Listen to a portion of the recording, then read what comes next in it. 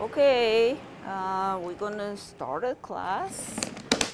So we're gonna start with the small brush. She wows like Warhol, Vibrant, makes an impression like Monet. Joyous? Bold brushstrokes and splashes of color. expressive. So we're going to uh, pick up black ink. Sophia Panetta's trademark. Yes.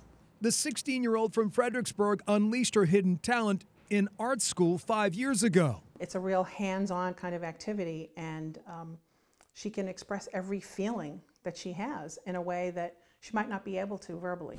Carol and Andre enrolled their daughter to build confidence, never expecting their daughter with Down syndrome would blossom like this. And wider. Ah, like that.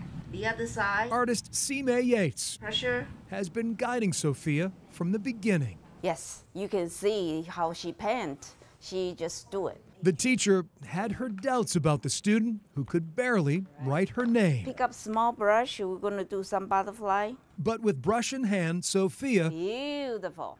Love it. proved Sime and everyone else wrong. I'm very proud. I think I'm not gonna get famous, but she's gonna be famous for me.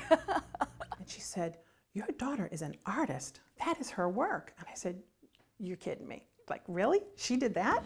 It doesn't matter the subject. okay, very, very good. From wildlife to still life, the serious artist paints them all Going to work on the green now. with flair. She's real fast. Remarkable considering Sophia wasn't expected to survive. Devastating. Absolutely devastating. At birth, she had major heart problems that required multiple surgeries. It was probably the worst two weeks we had in our life.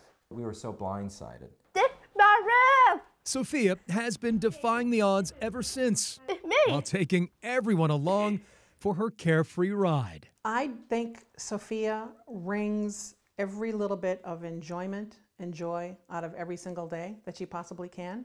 This my artist made it. That joy expressed in every Her, piece. she just goes for it. She doesn't overthink everything. You know, I think many of us would be like, oh, it's not perfect. I want this, I want that. She'll just go, and that, that's it. Sophia's paintings hang not on the family refrigerator. People are really touched by it. Fans of her work buy her prints for hundreds of dollars. And she's not afraid of color or going for it, so she just she just does it. Profits will help Sophia live self sufficiently when she's grown. We're hoping that this is her path to independence. Until then, this pint sized painter will pursue her passion See, you do beautiful job. with a lesson in every stroke. That.